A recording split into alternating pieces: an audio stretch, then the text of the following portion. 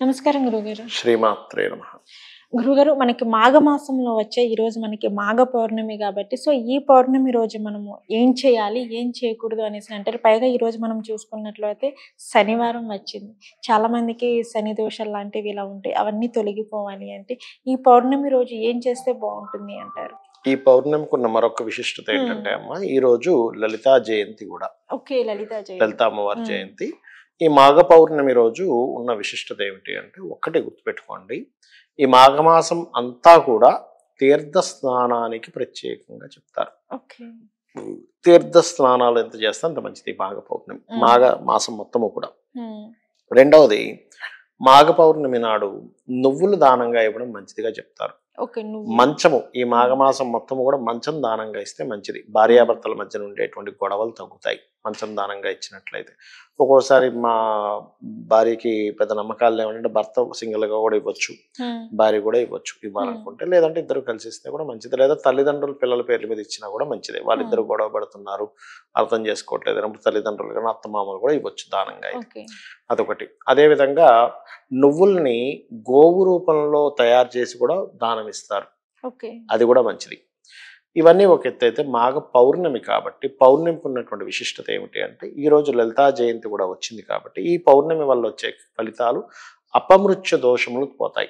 అపమృత్య దోషం. అపమృత్యు దోషాలు అకాల మరణాలు జరుగుతుంటాయి. కొంతమందికి. అకాలంగా సడన్ యాక్సిడెంట్స్ ఇట్లాంటి దోషాలు పోవడానికి ఈ పౌర్ణమి బ్రహ్మాండంగా పనిచేస్తుంది. ఓకే. అంటే ఏం చేయాలి? ఉదయము సాయంత్రము.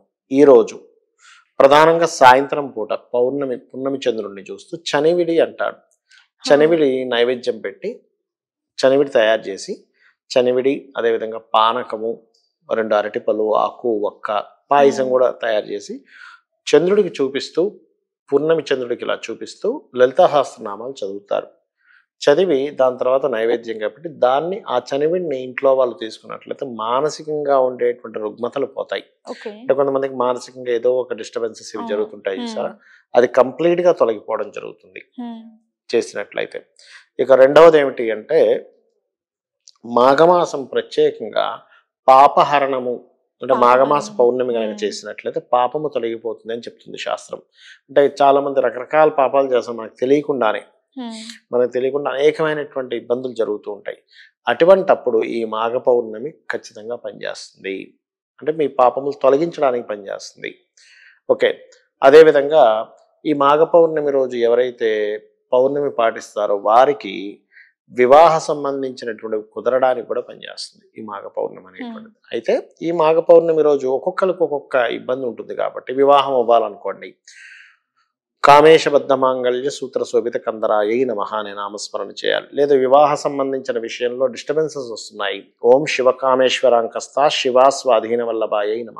ఉమ్, లేదండి అసలు ఏ మాట మాట్లాడినా తప్పుగా వెళ్తుంది అని. అనుకునేటువంటి వారు. ప్రత్యేకంగా ఆ, కామేశ్వర మనకి అంటే ఇద్దరు కలవలేకపోతున్నారు ఉదాహరణకి. ఏదో ఒక ఇబ్బంది వస్తుంది. కలుద్దామంటే ఏదో ఇబ్బంది వస్తున్నప్పుడు కామేశ్వర ముఖాలోక కల్పిత శ్రీ గణేశ్వర అనే నామస్మరణ చేస్తూ గణపతి ఆరాధన చేస్తే కూడా బాగుంటుంది. అదేవిధంగా వ్యాధులు ఉన్నాయి కొంతమంది హెల్త్ ఇష్యూస్ వస్తుంటాయి. అటువంటి వారు సర్వవ్యాధి ప్రసమని సర్వమృత్యు నివారిణి అగ్రగణ్య చింత్య రూప కలికల్మష నాశిని అయిన మహా అనేటువంటి నామస్మరణ చేయడం అనేది మంచి ఫలితాలు ఇస్తుంది. ఇలా లలితాహాసనామాల్లో ఒక్కొక్క దానికి ఒక్కొక్క ఇది చెప్పడం జరిగింది. అలాగే ఈరోజు ప్రత్యేకంగా బియ్యము దానంగా ఇవ్వడం ఎవరికైనా అది కూడా మంచి ఫలితాలు ఇస్తుంది. సంధ్యావందనం అంటే ఉదయం సాయంత్రం చేసే త్రికాల సంధ్యలు చేస్తుంటారు మధ్యాహ్న సమయంలో కూడా ఈ రోజు చేసేటువంటి సంధ్యావందనానికి మరింత ఎక్కువ ఫలితం వస్తుంది అని చెప్పి చెప్తుంది శాస్త్రం. అందులో ముఖ్యంగా నదీ ప్రవాహాల దగ్గర సముద్ర స్నానాలు చేయడము మాఘమాసంలో మాఘ పౌర్ణమి రోజు మంచి. ఫలితాలు ఇస్తుంది చెప్పాలంటే ఓకే గురుగారు అదే విధంగా ఏంటంటే మనకి శివరాత్రి వచ్చేస్తుంది. చాలా మంది అంటారు మనకి ఏదైనా ఈ సృష్టిలో జరగాలి అన్న జరగకూడదు అన్న శివుని ఆజ్ఞ లేనిదే చీమైనా కొట్టదు అనే సామెత మనం. ఆటోమేటిక్గా వింటూనే ఉంటాం. కానీ మనకి ఇప్పుడు జరుగుతున్న సంఘటనలు జరగబోయేవి అలాగే. జరిగిపోయినవి వీటన్నిటి శివుని ఒక ఆజ్ఞతోనే జరుగుతున్నాయి అంటారా గురువు గారు అంటే మనకి మంచి జరుగుతుంది చెడు జరుగుతుంది. సో దానిపైన మీరేమంటారు? అంటే ఒకటమ్మా శివుడి ఆజ్ఞ అంటే ఒక విషయం చెప్తాను చూడండి. శివుడి యొక్క ఎనర్జీ శివుడి యొక్క తత్వం ఎలా ఉంటుందంటే మనం కర్మ బట్టే అవి జరుగుతుంటాయి. శివుడు ఎనర్జీ దానికి అవసరం పడుతుంది అంటే ఎలా. అంటే ఇప్పుడు ఎగ్జాంపుల్ ఈ లైట్ కొనుక్కొచ్చాము. ఈ లైట్కి ఇది లైట్ వెలగడానికి పవర్ అవసరం. పవర్ లేకుండా ఈ లైట్ ఎందుకు పనికిరాదు లైట్ పట్టుకొని తిరిగితే వేస్ట్ అంటే. ఈ ఈ లైట్ ఒక మనిషి అనుకుంటే. ఈ లైట్ వెలగడానికి ఉండే పవర్ ఈజ్ అమ్మవారు ఆర్ శివుడు అనుకోండి కాసేపు. దీనికి మహాభారతంలో దీనికి ఒక ఉదాహరణ ఉంటుంది. భారతం మొత్తం అయిపోతుంది. అర్జునుడు కృష్ణుడితో మాట చెప్తాడు. అందరూ నేను వేసిన బాణాలకి ఆహా ఓహో అర్జునుడు ఎంత చక్కగా బాణం వేసి చంపాడు అంటున్నారు. కానీ నాకు మాత్రం కృష్ణ నాకు ఒక విషయం అర్థమైంది. నాకు ఒక విషయం కనబడిందని చెప్తాడు. ఏమిటది అంటే నేను బాణం తీసి వేద్దాం అనుకునేసరికి అక్కడ ఒక పెద్ద ఆకారం నిలబడి త్రిశూలం పట్టుకుని నేను చంపబోయే వ్యక్తిని అతనే ముందు చంపుతున్నాడు. బయటికి బాహ్యంగా మాత్రం నేను ఒక బాణం వేసినట్టు చంపినట్టు కనబడుతుంది. ముందే జరిగిపోతుంది అక్కడ ఆల్రెడీ. విషయం. అంటే ఏమిటి? నీ పుట్టుక కానీ నీ మరణం కానీ. భగవత్ భగవత్ సంకల్పంతో సంబంధం ఉంది. గుర్తుపెట్టుకోండి. హ్మ్. పుట్టుక మరణం అనేటువంటిది. నువ్వేదో చేస్తున్నావు నేనేదో చంపేస్తున్నా అవతల వ్యక్తిని లేకపోతే నేనేదో పుట్టించేశాను అనుకుంటే తప్పు. తప్పు. అంటే నువ్వు ఆల్రెడీ ఫిక్స్ అయి ఉన్న దాన్ని భగవత్ సంకల్పంతో నడుస్తుంది. అలా నేను ఎవరిని పడతాను చంపేసి భగవత్ సంకల్పం అని అనుకుంటే కాదు తప్పు మళ్ళీ. అక్కడ యుద్ధం కాబట్టి యుద్ధ ధర్మం అవతల. వ్యక్తి నువ్వు యుద్ధం. చేయొచ్చు యుద్ధ ధర్మం అది యుద్ధ ధర్మం అనుకుంటున్నాం ప్రతిదీ భగవంతుడి యొక్క సంకల్పమే నేను ఏం చేసినా భగవంతుడి సంకల్పమే ధర్మం కోసం నువ్వు చేసేది. అది నీకు పాపం అంటదు ఆ. ధర్మంగా నువ్వు చేసేది పాపం కిందకి మారుతుంది అక్కడ ఏంటి యుద్ధం చేయడం క్షత్రియుడి ధర్మం కాబట్టి అది నీకు పాపం అంటదు స్వర్గాన్ని ఇస్తుంది ఎందుకు ఎందుకు పాపం అంటదు? ఆ యుద్ధం వల్ల నువ్వు కొంతమందిని కాపాడుతున్నావు. ఒక రాజు పులిని వేటాడుతాడు ఊర్లోకి వచ్చి పులి అందరిని చంపేస్తుందని. అప్పుడు అది తప్పు కాదు. అలాగే నువ్వు బలం బలవంతంగా అడవిలోకి వెళ్ళి చక్కగా కూర్చున్న పులిని చంపేస్తే అది తప్పు. కొంతమందిని రక్షించడానికి చేసే తప్పు అవ్వదు. ఇప్పుడు ఎందుకమ్మా ఇప్పుడు మనకి మన బార్డర్స్ ఉంటాయి. బార్డర్లో ఒక సైనికుడు ఇంకో సైనికుడిని చంపేయడం వాడిని మనం సత్కరిస్తాం. అదే సిటీలో ఎవడో వెళ్ళి పుసుకుని చంపేస్తే సత్కరిస్తారా వాడిని?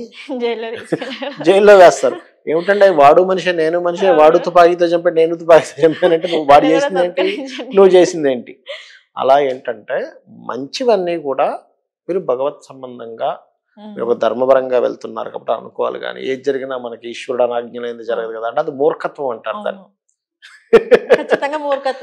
అది. మూర్ఖత్వం అవుతుంది కాబట్టి నువ్వు ధర్మం కోసం చేస్తున్నావా? మంచి పది మంది మనిషి మంచి కోసం చేస్తున్నావా? న్యాయబద్ధంగా చేస్తున్నావా? అనేటువంటిది కూడా రూల్గా ఉంటుంది. అలాగే ఇప్పుడు ఇక్కడ ఏదైనా మనం తప్పు చేసాం గవర్నమెంట్ ఒక శిక్ష వేసింది అనుకోండి. మీరు ప్రత్యేకంగా నరకంలో అనుభవించాల్సిన అవసరం ఉండదు అని ధర్మశాస్త్రాలు చెప్తున్నాయి.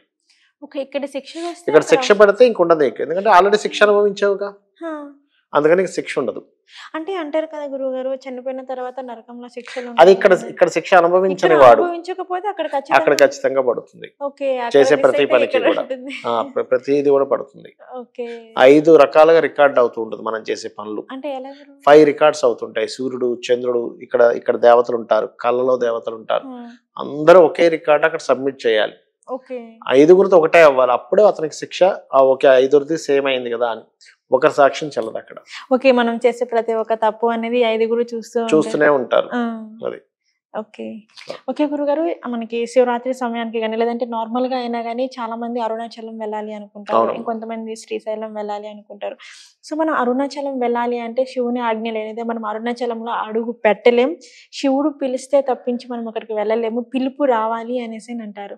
ఫస్ట్ ఆఫ్ ఆల్ మనం అరుణాచలం వెళ్ళాలి అంటే మనం తెలుసుకోవాల్సిన విషయాలు ఏంటి గురువు గారు అరుణాచలానికి వెళ్ళక ముందు వెళ్ళిన తర్వాత లైఫ్ అంటూ ఉంటారు అవును.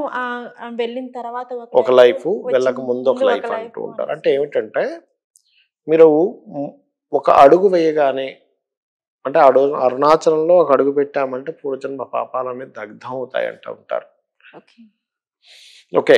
అంటే ఏమిటి? అరుణాచలము అంటే ఆ గిరి మొత్తం ఈశ్వరుడే. ఆ ఈశ్వరుడే ఆ గిరి రూపంలో ఉన్నాడు. దాని చుట్టూ మీరు ప్రదక్షిణం చేస్తున్నారు. మీ ఆరాకి సంబంధంగా ఉంటుంది. మన షట్చక్రాల ఆరాతో మన కర్మలన్నీ సంబంధం ఉంటాయి. అవన్నీ ఒక ఇప్పుడు చూడండి ఒక అగ్ని చుట్టూ ఎవరైనా ప్రదక్షిణ చేస్తే ఏమవుతుంది? చలి ఎలా పోతుందో అగ్ని చుట్టూ ఉన్- ఉన్న వ్యక్తులకి చలి ఎలా వెయ్యదో అరుణాచల గిరి చుట్టూ ప్రదక్షిణం చేసేవాడికి పాపము ఉండదు. గుర్తుపెట్టుకోండి. అలా అని ప్రతి నెల ఫ్రెష్గా పాపాలు చేసుకుని మళ్ళీ పోయి కావాలని పాపాలు చేసిపోతే కాదు రానివ్వడు. ఆయన రానివ్వడు ఫస్ట్. ఆయన రానివ్వడు. అది అర్థం చేసుకొని అక్కడ ప్రదక్షిణం చేయాలి. గుర్తుపెట్టుకోండి. అట్లాగే శివుని యొక్క అనుగ్రహం ఎట్లా ఉంటుందంటే మీరు దేని గురించి బెంగపడవలసిన అవసరం లేదు. అయ్యో నాకు ఇది లేదే నాకు ఇలా ఇది ఎలా వస్తుంది అని ఆలోచన అవసరమే లేదు. అది ఆటోమేటిక్గా ఆ సమయానికి అలా వచ్చేస్తుంది. ఓకే. అయ్యో నేను పెద్దగా చదువుకోలేదు నా జీవితం ఎలా జరుగుతుందో అవసరం లేదు. ఏం చదువుకొని వాడు వ్యాపారం చేసి బతకట్లేదా? ఆ ఈశ్వరుడే ఏదో ఒక వ్యాపారాన్ని ఇస్తాడు. అయ్యో నేను పెద్దగా చదువుకోలేదు నాకు పెళ్ళి అవుతుందేమో అవ్వాల్సిన అవసరం లేదు. ఎందుకు పెళ్ళికి సంబంధం ఏం సంబంధం ఉంది? అనుకుంటారు అట్లా. బాగా చదువుకున్నవాడు బాగా అందంగా ఉన్నవారు బాగా డబ్బులు ఉన్న వాళ్ళందరికీ వివాహం అవుతుందని మీరు ఏమైనా గ్యారంటీ ఇవ్వగలరా? బోల్డ్ మంది ఉన్నారు నాకు తెలిసిన వారు కొన్ని. వేల మంది ఉన్నారు. ధనం బాగుంటుంది చూడ్డానికి చక్కగా ఉంటారు డబ్బులు ఉంటాయి చదువులు ఉంటాయి మంచి ఫ్యామిలీ ఉంటే వివాహం పెళ్ళిళ్ళు అవ్వవు. ఎంతమంది లేరమ్మా? చాలా మంది ఉన్నారు గురువు దానికి గారు. దీనికి లింక్ లేదు. అలా చదువుకోవద్దని నేను చెప్పట్లేదు. డబ్బులు సంపాదించొద్దని నేను చెప్పట్లేదు. చెప్తున్నా అంటే ఈశ్వర అనుగ్రహం అంత గొప్పగా ఉంటుంది.